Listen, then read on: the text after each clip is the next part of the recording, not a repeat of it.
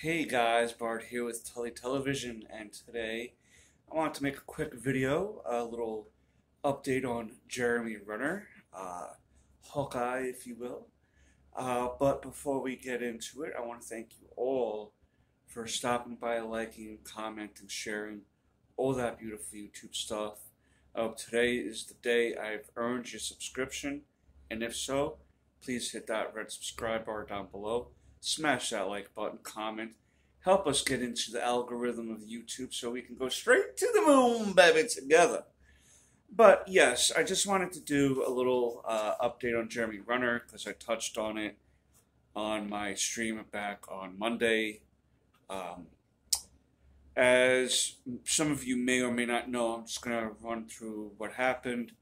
Uh, Jeremy Renner uh, near Reno uh, like a neighborhood in Reno, um, was trying to clear the path for him and his family with a snow capped machine that helps plow and flatten out snow.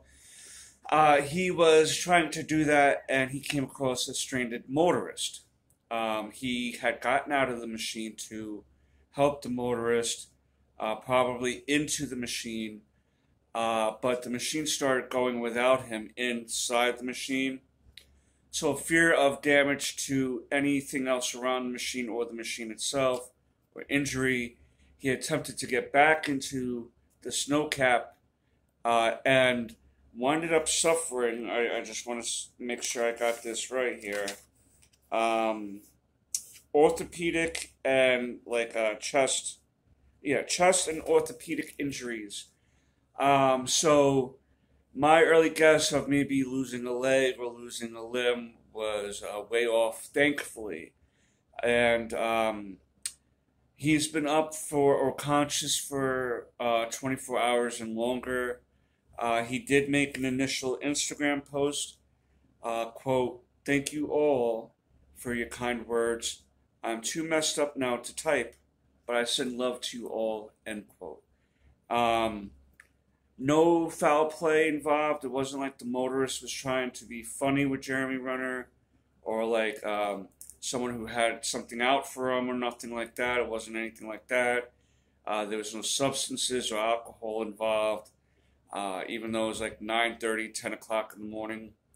But um, if there was no substances involved either, it was really just him trying to help somebody out.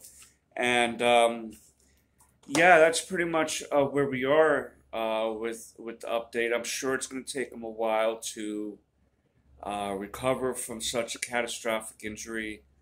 Uh, yeah, at one point it was iffy.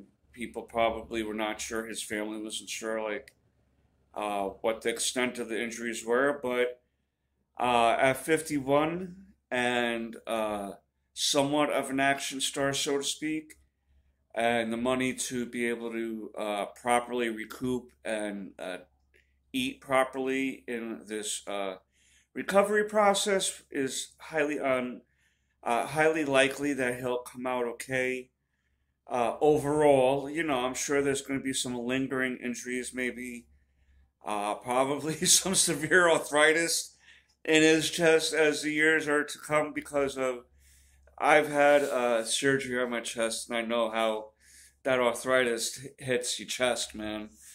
Sometimes during really cold weather, it uh, it takes your breath away, and um, so you might deal with that down the road. I hope that this doesn't uh, deter him from doing good deeds down the road. Uh, sometimes crappy things happen uh, to people who are trying to do good things and good things happen to bad people as they're trying to do bad things, like being able to have the ability to escape or something, the crime that they're committing. Um, and this is just like really just a bag of bad luck for him. And I hope that uh, he has a speedy recovery. Uh, no matter what you may feel about him or his work, um, no one, for the most part, deserves to you know, go out or almost go out the way he did. And thankfully, he's still going to be around. And uh, um, I'm excited to see him uh, down the road for Hawkeye season two, hopefully, or some sort of reappearance.